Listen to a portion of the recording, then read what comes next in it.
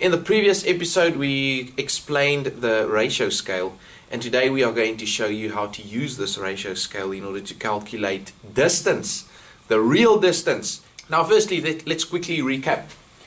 We were using a ratio scale of 1 to 50,000. Let's take a look at it again. Now we are going to use this ratio scale 1 to 50,000. Let's write it down. 1 to 50,000 and we said that 1 centimeter on the map represents 50,000 centimeters in real life. So, if you would go to that certain area in real life, you will find that it is, it is uh, 50,000 centimeters long.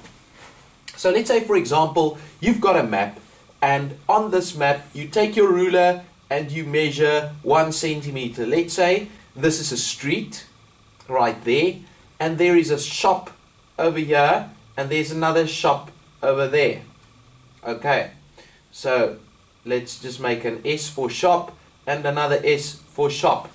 And you measured one centimeter between the one shop and the other. Now on your map it is only one centimeter, but if you go to that place in real life, you will find that it is 50,000 centimeters. So this is exactly what this scale is telling us. This one centimeter we said equals is equal to 50,000 centimeters. Now, obviously, we are not going to say, listen, you go down the street, there's a shop there on your right hand side, then you go 50,000 centimeters further and you'll get to the next shop. No, we want to say something like meters or kilometers or something like that. So, how do we convert centimeters to kilometers? Very simple. You are going to divide by 100,000. Why do we divide by 100,000? because there's a hundred thousand centimeters in one kilometer. Right. Now, if we divide 50,000 centimeters by a hundred thousand, then it will give us an answer of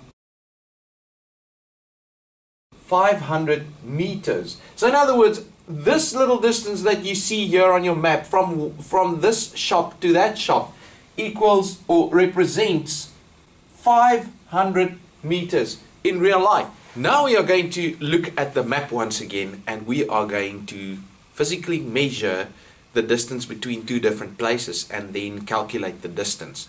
We're going to take it from the highest point um, on Wolvenkop which is indicated by the triangle there and then we're going to measure all the way to the golf course. We're going to take it to the right to the middle of the golf course and uh, we will find that it's more or less exactly 15 centimeters. Right, now that we've taken the measurement and we know that it's 15 centimeters between those two places, we can write it down and we can say 15 centimeters and we all know that the scale is 1 to 50,000. Now, firstly, let's write that method down. The, the, the method says distance on map times scale of map. Okay, so the distance on the map is 15 centimeters and the scale of the map is 50,000. Okay, now this will give you an answer of 750,000 centimeters. Now, like I said, you're never going to say to your friends, listen, I went for a jog yesterday, I ran 750,000 centimeters. No, you are going to convert this to kilometers. So you're going to say divided by 100,000. I'm just going to move it down here make sure everybody can see divided by 100,000 in order to convert it to kilometers and it will give you an answer of 7,5 kilometers. That is how simple it is. People now some of the students in my class might ask me, sir, but listen, um, what if the scale is different? What if the scale is 1 to 80,000? It stays exactly the same. The whole method, everything stays exactly the same. If we had a scale here of 1 to 80,000, then obviously the number that we'll come to over here will be a lot bigger, but then we still divide by 100,000 and it will still give us the, the, um, the right answer. I think most of the time you will find that you work in centimeters, but there might be situations where you have to measure in millimeters. then the only thing that changes is this amount. Then you divide by 1 million.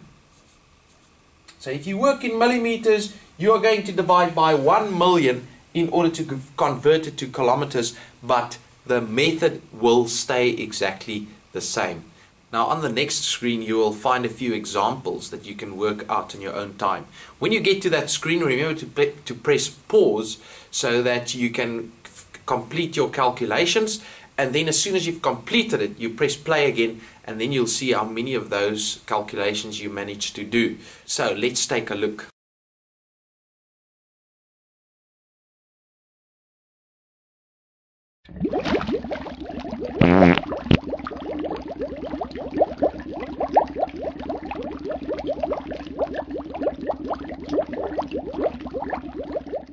Thanks once again for tuning in. Remember to subscribe to my channel. You never know, these videos might be a lifesaver before your next test or exam.